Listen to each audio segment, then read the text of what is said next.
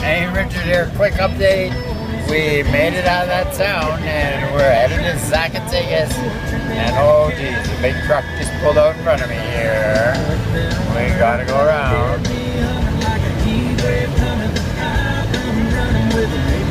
There we go. And so we're on our way now. Hey, we're uh, 728 kilometers from the border.